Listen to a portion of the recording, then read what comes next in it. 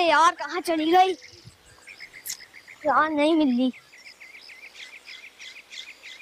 यार नहीं है यहाँ। इधर आओ तुम।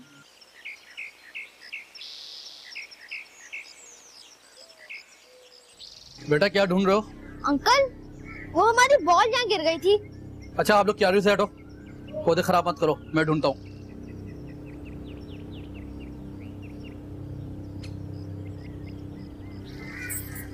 नहीं मिल है यहाँ तो नहीं है। जाने कहाँ फेंक दी इन लोगों ने वो?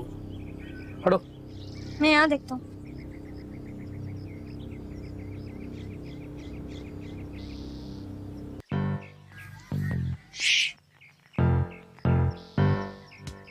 मिली बेटा?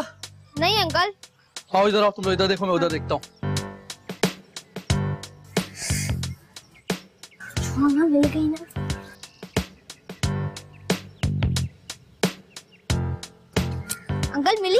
हाँ बेटा देख रहा हूँ। बेटा इधर नहीं आई होगी। तुम लोगों को ना कहीं और फेंकी है। अंकल कोने में चेक करें। देखता हूँ अंकल? हम्म, सॉरी मुझे अभी याद आया। क्या? बॉल तो मेरे पास है। ये क्या बेहुदा मज़ाक है? तुम लोग समझ में नहीं आए तंग करने आ जाते हो रोज़े की हालत में तंग करके रखा हुआ इन लोगों ने। क्या सिखाया माँ बाप ने।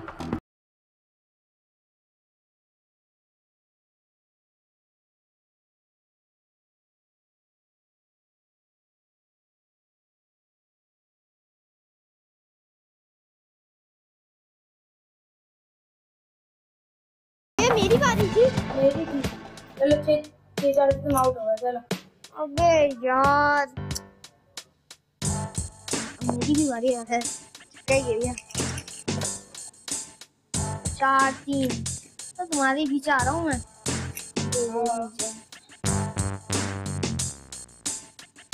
अब्दुल्ला? जी मम्मा। बेटे ये माजिद अंकल की अफ्तारी दिया हो जाके। मम्मा आप फहीम को भेज देना फहीम को? बेटे वो मेहमान आए हुए हैं ना। आप जाइए देकर आइए। मम्मा भी हम गेम खेल लेना बाद में दे देंगे। नहीं अभी जाइए बहुत कम टाइम रह गया इफ्तारी में। अब्दुल्ला। लेकिन मम्मा। कोई लेकिन वेकिन नहीं? उठो शाबाश जल्दी जाओ। आंटी मैं बताऊँ अफ्तारी देने क्यों नहीं जा रहा? हाँ हाँ बताओ क्या हुआ है बेटे? क्योंकि जब हम बाहर खेल लेते हैं ना तो हमारे अंकल की क्यारी में हमारी बॉल चली गई। तो जब हम लोग वहाँ ढूँढने लगे तो हमारे अंकल आ गए। और हमारे अंकल भी हमारे साथ बॉल ढूँढने लग गए। जब अब्दुल्ला को बॉल मिली ना, अब्दुल्ला ने उनको बताया नहीं। और जब हमारे अंकल ढूँढने लगे तो अब्दुल्ला ने बोला तो बॉल तो हमारे पास है। तो हमारे अंकल गुस्सा आया और जब वो गुस्सा करने लगे तो हम वहाँ से भाग गए इसलिए अब्दुल्ला अफ्तारी देने नहीं लगा। अब्दुल्ला, पड़ोसियों को तंग करना कितनी बुरी बात है ना? और ऊपर से तुमने झूठ बोला। वो भी रोजा रख के। जाओ, ये इफ्तारी माजिद अंकल के देकर आओ और उनसे सॉरी भी करना।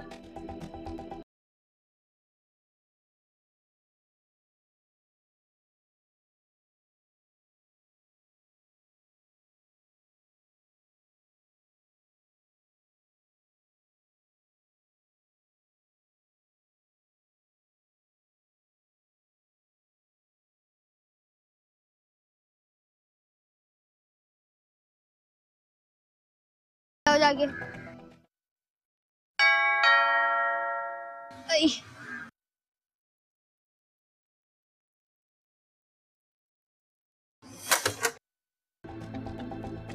तुम दोनों फिर आके तंग करने के लिए।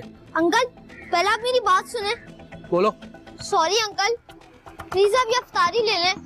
हम आइंदा में ऐसी बदतमीजी कभी नहीं करेंगे। इट्स ओके तुम लोग रुको मैं बर्तन लेके आता हूँ। बच गए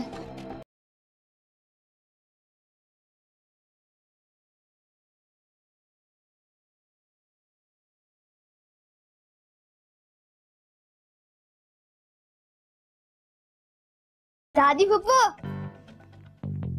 ये देखें आप। ये देखिए मेरी राइटिंग अब कैसी हो गई? हम्म। वाह भाई। अब्दुल्ला तुम्हारी राइटिंग तो बहुत खूबसूरत हो गई है। तुम्हारा तो आज बड़ा लकी डे है। आज तुमने मकबूल रोजा रखा है। आज तो तुम सोने का सिक्का जीत चुके हो। दादी पुप्पो आप सच कह रही हैं? वाह! वैसे दादी पुप्पो आप मुझे एक बात बताएँ। क्या पड़ोसी को तंग करने से रोजा खराब हो जाता है? हाँ भाई पड़ोसी को तंग करना तो बहुत बड़ा गुनाह है। हमारे प्यारे नबी सल्लल्लाहु अलैहि वसल्लम ने इरशाद फरमाया है कि वो शख्स जन्नत में नहीं जाएगा जिसकी शरारतों से उसका पड़ोसी तंग हो। क्यों भाई? सिक्का मिलने के बाद क्या किसी को तंग करने का इरादा है? नहीं दादी पुप्पो फिर? दादी पुप्पो मेरा रोजा आज भी मकबूल नहीं हुआ। मैं आज भी सिक्का नहीं ले पाऊँगा। क्यों भाई? जहाँ तक मुझे पता है तुमने आज कोई ऐसा काम नहीं किया जिससे तुम्हारा रोजा खराब हो? दादी पुप्पो मैंने आज माजिद अंकल को तंग किया था। लेकिन कल कुछ भी हो जाए मैं मकबूल रोजा रख के ही रहूँगा। ठीक है तो तुम माजिद अंकल से माफ़ी भी मांग लेना। वो तो मैंने आज ही मांग ली थी। गुड ये तो बहुत अच्छी बात थी। ये देंगे दादी पिछली वाली और अब की देखें। हम्म। बहुत फ़र्क है। देखो पहले वाली में और अब देखो। और अब देखें। ज़बरदस्त।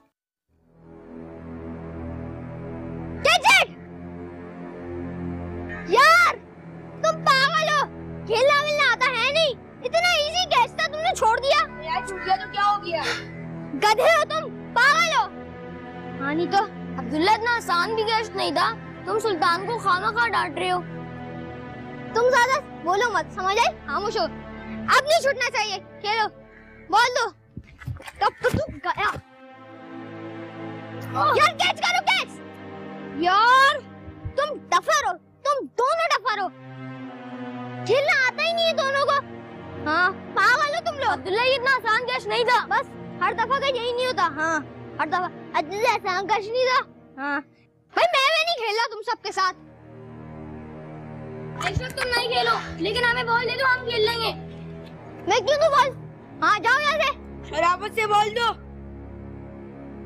देखो मैं अभी खेल रहा हूँ। अगर अब किसी ने बॉल छोड़ी ना तो वो मुझसे नहीं बचेगा समझ आई?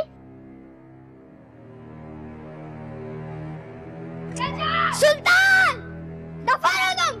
तो क्या हो गया है तुम्हें खेलना आता है नहीं हमें तो आता है। शायद अफरीदी बन। रहे तो चलो हटो। हमारी मर्ज़ी हम जो बने। दो कैच तुमने छोड़े और एक कैच इन्होंने छोड़ दिया। अकल नहीं तुम दोनों को। तुम दोनों डफर और डफर। नहीं खेलना मुझे तुम दोनों के साथ। हाँ। पता नहीं क्या है। जाने दो उसको पागल है वो। सुल्तान जाओ तुम बॉलिंग कराओ यार। हाँ।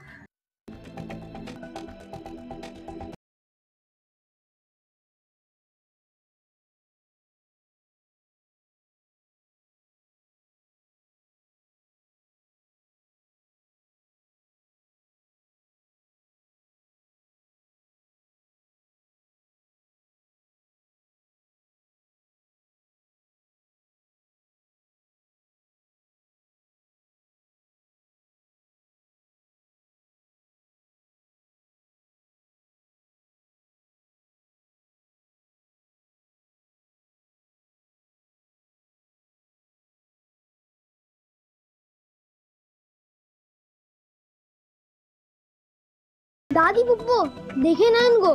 क्रिकेट खेलना आता नहीं है और क्रिकेटर बन रहे हैं।